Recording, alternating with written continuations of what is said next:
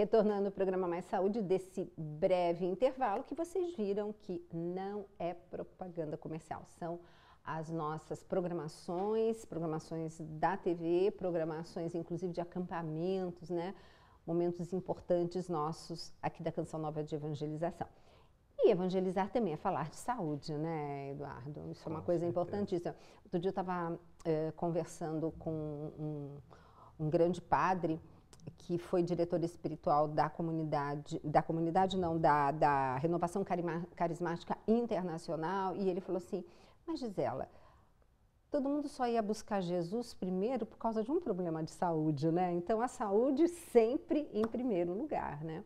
Mas hoje o Eduardo, que deu um testemunho brilhante que nós vamos continuar falando no próximo programa, uh, ele vai hoje preparar em menos de 13 minutos uh, uma que seria uma refeição principal.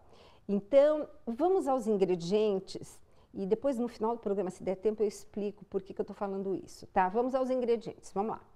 Uma couve-flor pequena, sem talos, cinco tiras ou um maço pequeno de cebolinha, três pimentões vermelhos grandes, um pimentão verde bem pequeno, um tomate fresco, 12 azeitonas pretas, uma cabeça de alho, meia cebola pequena, em torno de 100 gramas, 30 gramas de castanha do Pará, um maço de coentro e sal a gosto. Eduardo, Uh, Para essa receita, a gente precisa de alguns equipamentos. Então, você tem aqui um processador e um liquidificador. Isso mesmo. A gente só precisa de um processador e um liquidificador. O liquidificador para o molho, processador para fazer o arroz. E só o processador, depois, eu poderia fazer o molho com ele? Dá, só que o liquidificador ele fornece uma textura diferente, ele faz um molho, né? Tá. O processador ele faz mais uma salsa. Perfeito. Então ele não emulsifica tão bem os ingredientes. Perfeito. Que a gente quer quebrar bastante, por exemplo, a castanha do Pará, para ela soltar a gordura dela e, e... ser o nosso molho delicioso. Bom, Sim. então vamos lá. Como que vamos começar? Você Bom, quer o processador primeiro? Isso mesmo. Primeiro então... a gente vai começar processando a couve-flor, ou seja, fazendo o nosso arroz.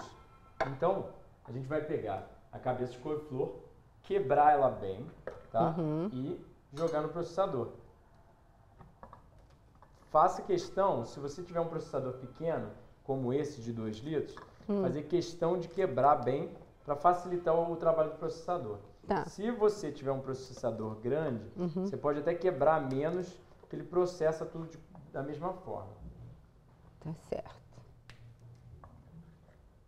Aí, o que, que a gente fez aqui, eu já tinha deixado pré-preparado. Mas se você pegar a couve-flor inteira, você vai simplesmente partir ela ao meio, uhum. tirar esse talo dela, uhum. tirar aquelas folhezinhas, uhum. e a gente vai pegar só ir quebrando certo. e jogando no processador. Perfeito. Só, só isso. Tá? E aí essa, esse pequeno talo você mantém, esse pequenininho? Isso, tá a bom. gente mantém. Aí jogou no processador, hum. E a gente vai jogar nossa cebolinha também, tá? A parte verde, né, que você gosta de usar. Isso, isso. Jogou a cebolinha, colocou... Nem, nem precisa parte mais, né, só...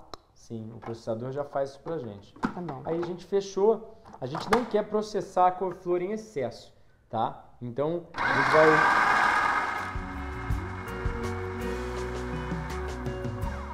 Então, de, preferência, a gente vai usar o botão pull.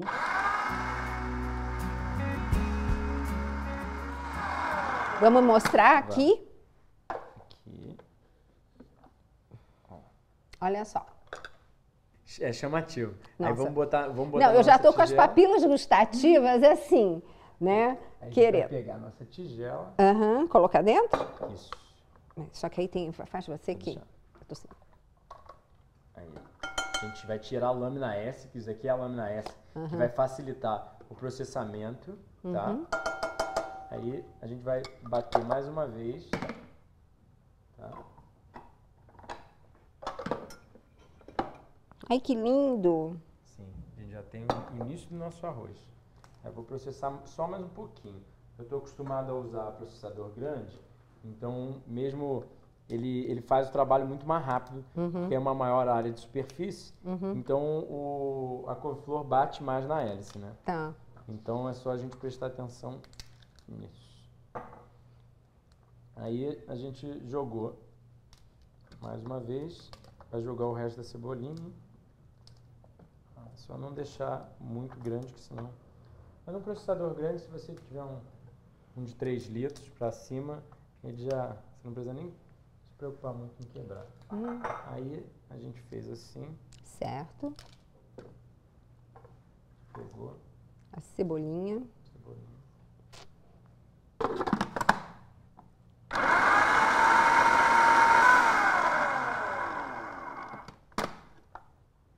Aí, Hum, ótimo. agora temos nosso arroz já pronto. Gente, pode? Aham. A gente vai deixar o processador aqui. Você vai continuar agora vamos pegar o Vamos pegar o liquidificador? liquidificador. Então, peraí, vamos organizar a nossa bancada. Perfeito. E o nosso Aí, liquidificador. Agora, com o nosso liquidificador, a gente vai fazer nosso molho. Como que a Ok. gente vai fazer o molho? A gente vai utilizar pimentão vermelho, Uhum. bem maduro, tá? Quanto mais maduro, melhor, que ele vai ser mais doce, fácil Uhum. de digerir, tá? Aí a gente vai... O início dele, para facilitar o liquidificador, a gente fatia bem, Tá. É porque o liquidificador não tem aquela lâmina tão poderosa quanto o processador, né? Isso, isso, Nossa, que delícia! tá? Ai, gente, eu não vejo a hora de experimentar.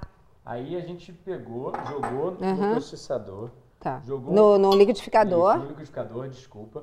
A gente vai jogar umas três, umas três, quatro azeitonas, tá? Sim. Que é isso que vai ser o sal. E a gente vai jogar um pouquinho de sal também. Também. Mas se você quiser, eu particularmente, pra mim, eu nem uso sal. Perfeito. Entende? Mas é pra facilitar as pessoas. A gente jogou meio dente de alho, porque esse Aham. alho tava grande, mas se for pequeno, pode ser um inteiro. A gente vai Aham. jogar uma fatiazinha de cebola. que A Tá. gente vai jogar mais cebola é, fatiada nele também, tá? Uhum. Uma Ok. fatiazinha de cebola. Ok. Aí a gente vai pegar agora um a dois punhados de castanha do Pará, tá? Tá. Acho bom começar com um e depois o pessoal vai adquirindo, porque a gente é assim, a gente dá receita, depois você adapta, né? Eu Sim. sempre faço isso. Concordo A primeira eu sou assim rigorosa e depois eu vejo para adaptar na nossa realidade lá do gosto de casa, né? Aí a gente vai jogar um pouquinho de sal Tá. e vamos bater. Pronto. Aí a gente.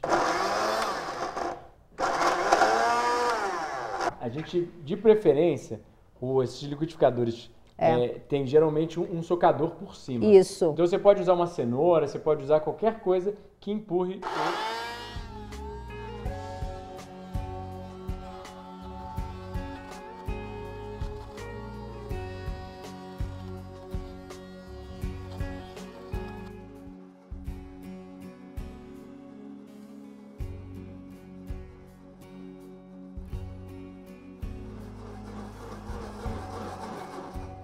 Gente, isso deve ser bom demais. Aí a gente sempre antes de tirar do Não, liquidificador, gente, pimentão assim é de um aroma. Como Deus caprichou, sempre não? antes de tirar do liquidificador, pô, vamos provar? Vamos. Vamos. Ah, Deixa eu, provar. Ficou, Hum. ficou bom, a gente precisa de um pouco mais de, de sal. O que Hum, achou?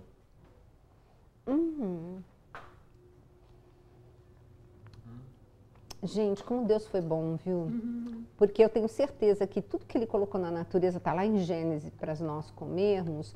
Ele fez todos os sensores, as papilas gustativas para nós apreciarmos esses alimentos. Então, nossa, é um êxtase você pegar e, e- e na alimentação ter acesso a esse tipo de paladar. Agora, Então, por exemplo, ahn, o o pimentão é algo que andou com muito agrotóxico, né? Então, a gente, sempre na medida do possível, utilizar produtos orgânicos. Se não der, vamos ter, assim, sempre alimentos que vão ajudar na detoxificação no fígado dessas substâncias que não são do bem. Mas a gente vai indo e, e- e vai fazendo aquilo que nós encontramos, primeiramente perto de você e produzido ao seu lado e da época, né? Que é a, a melhor dica. Gente, isso aqui tá tão bom. Hum. É, é, isso, isso é uma coisa muito, muito importante que a doutora falou.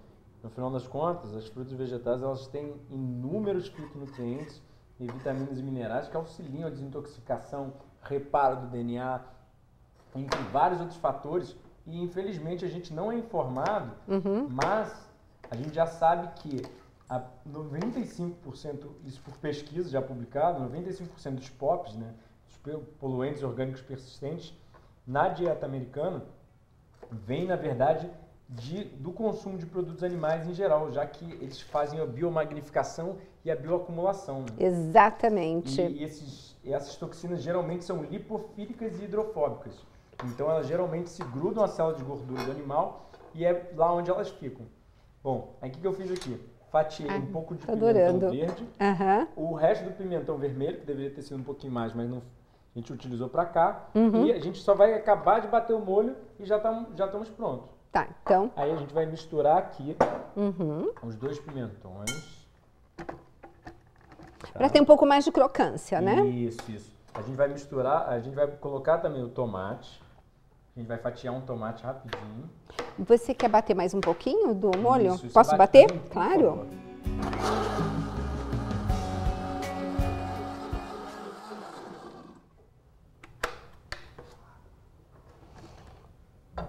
Aí, agora com o tomate bem fatiadinho. Uhum. Eu acho que agora tá bom. Gente, tá lindo!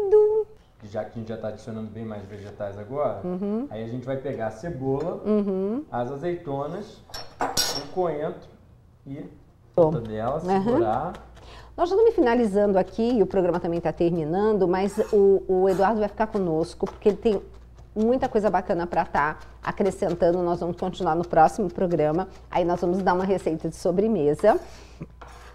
E eu quero deixar com vocês os contatos para essa semana que estão tá aí no vídeo. Gente, entrem no site do Eduardo. Ele tem receitas, ele tem ah, ele tem livros fantásticos, ele tem vários. Ele é, é, é, a pessoa que eu digo assim, é a pessoa do bem.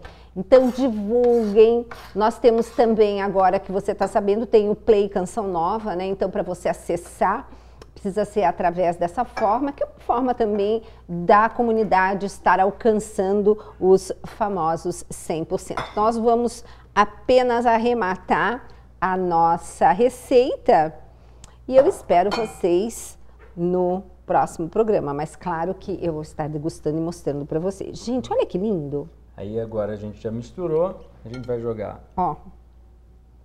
nosso Nossa. molho. Gente. Aí a gente vai hum. só mexer. Tá. Gente, eu tô encantada. Fica bonito, né? Fica lindo. Também. Nossa. Aí a gente vai pro nosso truque final. Hum. Você pega o prato pra gente, doutora? Pois não. No nosso truque final, depois de mexer bem, a gente vai Gente, é o seguinte, a gente come com a boca, a gente come com o, o, o, aroma do alimento, mas a gente come também com o olhar. E aí nós temos então o, o, a forminha, né? Mas se não tiver essa forminha, o que, que a pessoa pode usar? Ah, até mesmo um copo. Vários, eh, você consegue quebrar um galho com qualquer coisa. Aí a gente... Ai, que lindo! Aí a gente pega uma folhinha de coentro. Ai, gente, eu adoro o programa Mais Saúde, viu? Eu, eu sinto uma alegria tão grande de poder passar para vocês tudo isso, vocês não têm noção. Então, gente, opinião. por favor. Ah, não, essa é a hora mais difícil do programa Mais Saúde, tá todo mundo aqui olhando para mim. Hum. E eu nem botei muito molho para ele, ele, ele firmar legal, mas a senhora ainda pode. Deus te abençoe muito nessa missão. Maravilhoso. Gente, nós estamos no limite. A gente volta ao programa que vem, vocês vão ver que máximo. E olha, acessa o site do Eduardo, vocês vão ficar encantados com ele. Até daqui a pouquinho. Até daqui a pouco.